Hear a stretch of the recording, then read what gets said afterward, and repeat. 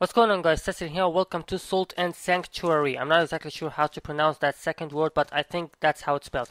But uh, anyway, today I will show you how to cooperate with a character from a different save file in this game. So let's get started. So what you want to do is to go into Bandit's Pass, a place called Bandit's Pass, which is this uh, building with that glowy, shiny gateway or door over there. It's like you're entering heaven, you know? I mean, when I go into that place, or any other place actually, I feel like I'm going to enter heaven because of this light that's glowing from all over the place. It's just amazing. Oh man, it's just so attractive, man. I want to go there. Oh yeah, let's go one more time. Let's go one. Oh, why not? Okay, yeah, go. Oh, I, I just entered heaven five times, like from different directions.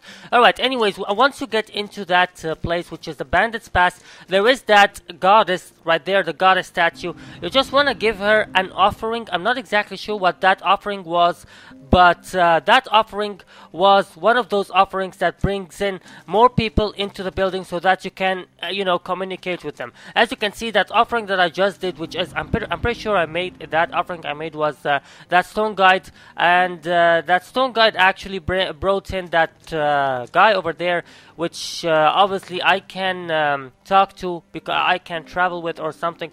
But I'm not exactly sure what that guy was for. But I'm not talking about that guy. It was another offering by another stone that brings in that guy. That's the guy that I'm talking about. He is, I'm not exactly what he's called, or I don't really remember what the stone that you used to sacrifice so that you could get him was.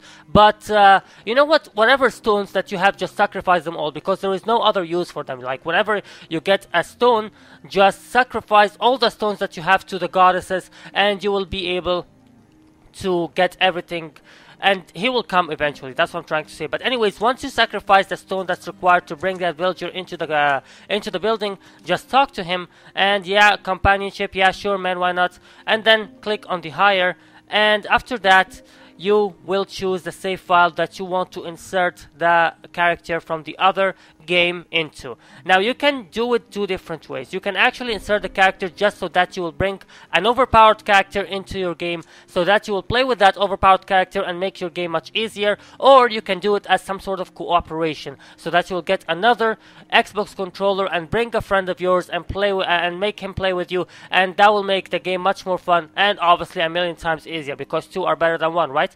So uh, yeah, now that we have uh, now um, that we have uh, okay hold on. Okay okay I'll leave leave now okay.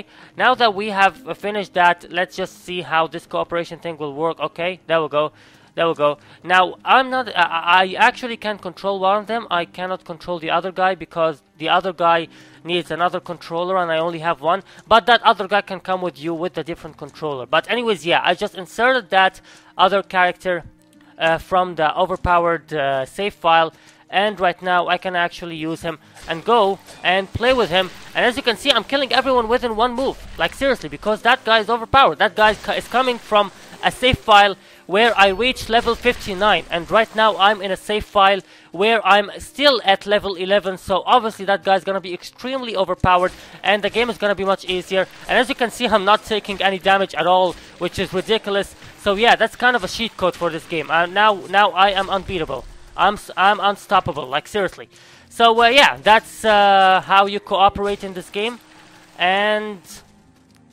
that's not just how you cooperate in this game, that's also how you make yourself powerful and make the game much easier. Sort of kind of a cheat code in this game. And yeah, that's all. I'm gonna upload this video to my second channel because I kinda doubt that there are much people that care about this game nowadays. And yeah, I'm gonna upload this to my second channel. But uh, anyways, yeah, that's how you cooperate and that's how you make your game easier and your character more powerful. And that's all. Thanks for watching. See you guys later. Bye.